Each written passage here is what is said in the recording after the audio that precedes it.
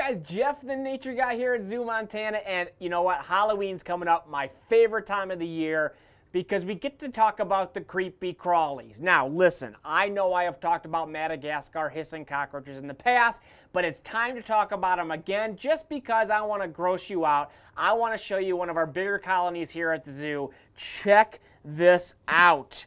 Oh my gosh, there are just handfuls of bugs in here. Oh, how cool and how gross is that? And I'm hoping some of you out there are squirming right now because I love to make you squirm. Now, of course, you're probably wondering how in the world can I put my hand in there? Well, there's nothing to worry about with these guys because they're harmless. Madagascar cockroaches cannot do anything to you. They can't bite, they can't spit, they can't karate chop you, they can't do anything. All they can do is hiss. And well, I know that their hiss is not dangerous, so it doesn't worry me. But some people still get kind of creeped out about these things crawling on you because they feel kind of tickly, and some people don't like that. But a couple cool things to look at here. You're going to notice how many there are, and there's some more babies. These guys have babies like you wouldn't believe. And you're probably wondering, why do we have so many here? Well, first of all, they're a great exhibit animal. People love to get creeped out by these guys.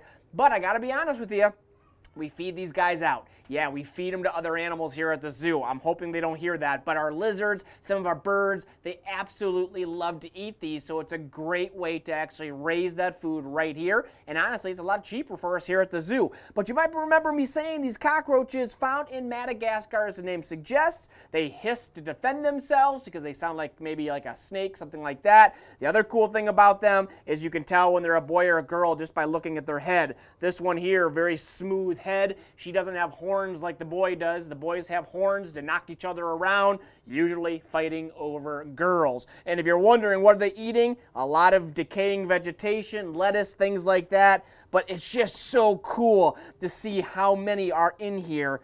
Well, like I said, just to gross you out. I hope it worked. Happy Halloween, everybody.